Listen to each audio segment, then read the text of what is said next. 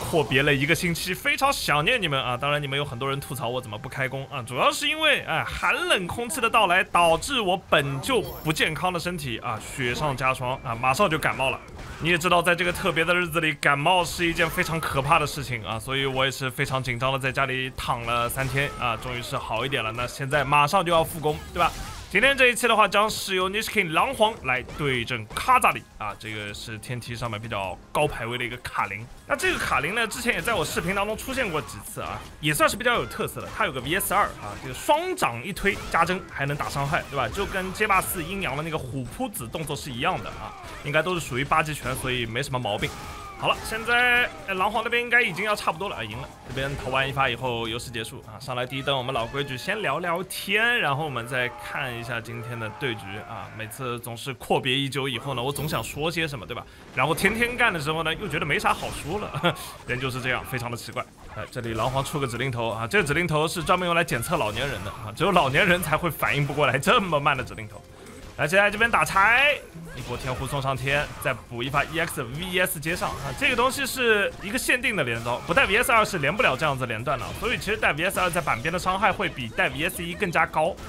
这边跳重拳下来，应该是要上路了，最后一则，看一下这 VS 推完，轻攻击抢出来，VT 交滚出去，哎，还有一些些的变数，这个变数会怎么来？一个彩虹滚过去，直接吃了一发升龙啊！变数在于他想最后省一下资源，直接突一下脸。啊，但无奈这玩意儿，只要你滚出来发现颜色不是金色的，那你直接用升龙升就 OK 了，因为它变不了方向啊。如果说它当时金光一闪啊，那金光一闪以后呢，你就要当心了，它有可能会骗你的升龙。来，狼皇这边续了一发电，再来一发，完了，这边直接被跳，被跳以后这一波压起身，哇，下中全是打了狼皇的一个起跳。狼皇这边为什么会在起身的时候那么喜欢动？这边走一个逆向，轻掉点完，选择投下中拳一个对空，马上补上。第二发也是打了一个复合啊，发现没有投中的时候，第一时间补一个对空技，那大概率可以把一个直跳打下来。但对手选择的是后跳。来这里强突，VT 走正面加针，哎往后拉一步想打拆没中，对手这边只抢了一个轻攻击，轻攻击又点到一下，再来这一发 VT 过去，看一下这个压起身。持续的打一个加针，被交 VR 弹出去，再滚，就这么强硬。这一手 VR 交的有点莽，这 VR 交了完了，EX 滚上去以后，站中脚卡一个帧数，给对手一种对手出错招的错觉，一波带走。好，那现在就到了第二局，然后这里开场先声夺人，一个前前先往对手脸上踏一步，然后吃了一个碎康，然后连招掉了。哎，卡扎利这里有点浪费机会啊。一个跳逆向，但是卡扎利这边如果是下中拳起手的话，应该是可以直接打一整套。这边选择了一个轻攻击，想要在空中点中对手，结果对手又落地了。这个滚过去可以直接抓。这个铁山靠完以后，下中拳又抓到一个乱动，EX 铁山一波非常的快，直接打晕带走。那我发现狼皇那个选手，他好像比较喜欢省资源，不太喜欢就在快不行的时候再交资源去硬翻。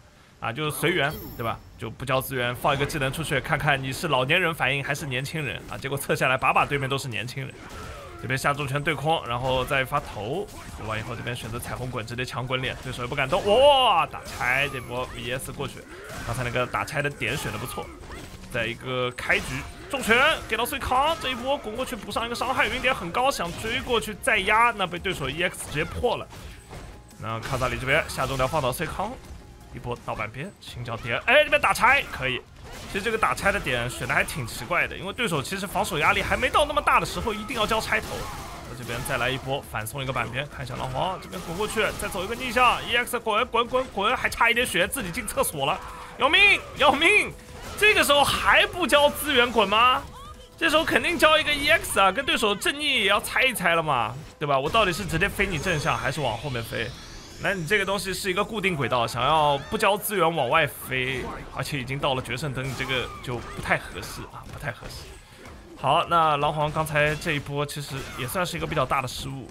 那已经到了第三局了，双方的决胜局，重脚被防，重拳蓄一下，马上往后拉。哎，这东西可以当 VS 一一样来用啊。挑逆向命中。轻攻击点一波放倒追过去，然后中脚先压一个加针对空落下来，VES 再往前打，这边晕点已经非常高了。这个时候狼皇那边选择再跳一个逆向啊，这个时候确实很难防。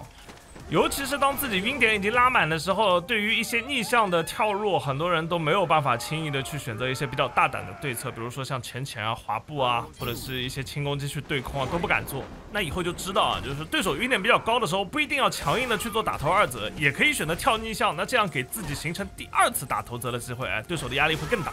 哎，这里滚倒对手，直跳，想要干什么？防对手的一个突进嘛。那这个直跳是被对手给了一个碎抗，不过后续的压制是没打上。跳入成功到板边，这次狼皇终于是交资源了啊！知道有有点虚了对吧？刚才连续两次不交，那死的会飞快。这里突然一个前前往后拉一步，继续用电去做牵制。